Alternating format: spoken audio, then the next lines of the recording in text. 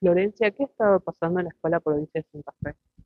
Eh, bueno, por el momento el problema que tenemos principalmente es que la escuela no cuenta con gas y em, tenemos eh, principalmente ese problema porque obviamente las estufas no funcionan, eh, los chicos que también reciben la leche acá, em, no se puede hacer nada de eso y hasta ahora estamos con clases virtuales hasta que se pueda solucionar el problema. Ah, ah, ¿Desde hace cuánto que tienen este problema y cuándo han empezado a, a darles clases virtuales a los chicos? Y más o menos desde febrero o marzo eh, que venimos con este inconveniente y hasta ahora no se ha podido solucionar. Entonces, eh, por ahora lo que se ha optado o la solución que nos han propuesto es eh, dar las clases virtuales hasta que nos solucionen el problema en esta semana y se pueda volver a la presencialidad.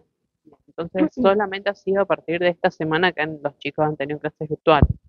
Exacto, sí. Em, es eh, jueves, o sea, ayer miércoles, hoy jueves y viernes. Es el tiempo eh, para poder em, eh, resolver el problema y que los chicos estén en esta modalidad hasta que se pueda volver a lo presencial. La resolución de este problema va por cargo del Ministerio de Educación.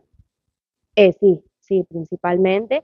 Eh, y bueno, que pueda venir alguna empresa, algo a revisar cuál es el inconveniente principalmente y darnos una solución.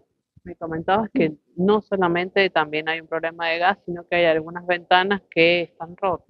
Exacto, sí, la escuela al ser un, al ser un poco antigua, eh, hay ventanas que no se pueden cerrar, entonces con estos fríos que están haciendo, la verdad se complica mucho. Más o menos, ¿cuántos chicos son los que asisten al establecimiento? Y aproximadamente son unos 250, eh, 300 chicos eh, en todo lo que es el nivel primario. Eh, yo exactamente no tengo ese dato, pero es un número aproximado de chicos que así. Los padres, ¿qué, ¿cuál ha sido la opinión de los padres en estos días con lo que es las clases virtuales y con que los chicos tengan que venir a una escuela que realmente está muy fría? Sí, y eh, la mayoría de los papás estuvieron de acuerdo con la medida que se había tomado y, eh, bueno, obviamente esperando una pronta solución eh, porque tampoco se puede seguir por mucho tiempo con la virtualidad. ¿A partir de cuándo es que los chicos podrían volver a las aulas?